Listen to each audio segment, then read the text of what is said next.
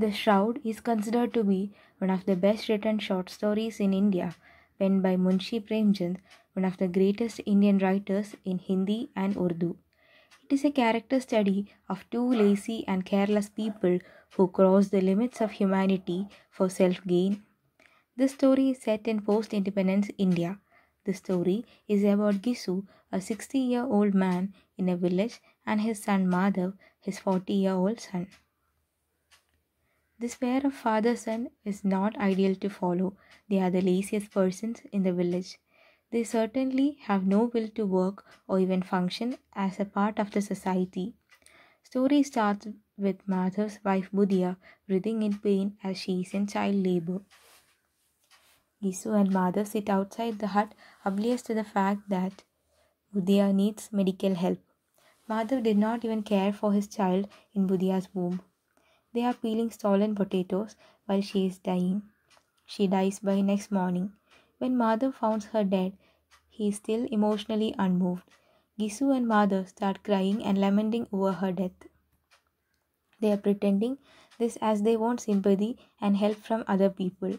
Other people come as they learn about the death of Budia. As custom, they give consolation to both. But they start showing their worries on lack of money for her final rites. From this point starts a clever scheme. They first go to the landlord who despises them. They pleads landlord to help them. Landlord does not want to help them, but he has no choice as it is matter of a death. He reluctantly gives them two rupees, sufficient amount for last rites.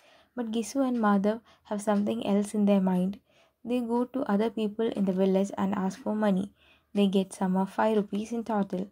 They spend every evening there buying nothing.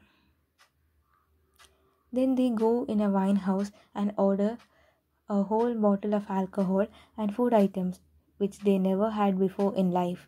They spend all the money for it.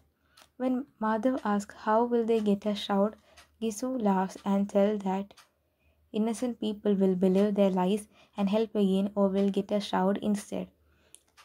Then they both start singing and dancing and makes noise and other people join them. At last they collapse as they have consumed so much alcohol. The original Urdu title of the story is Kafan. It is the shroud which is used to cover up the dead body. The story is unique observation of Premchand regarding patriarchal notions playing so crude role in Indian society. Women are always exploited in the society, but the story shows the grim truth that men folk can exploit them even after their death. Their dead bodies are also used for personal material profit. The Shroud is an ironic title because even a dead woman does not get a shroud for herself even after her death.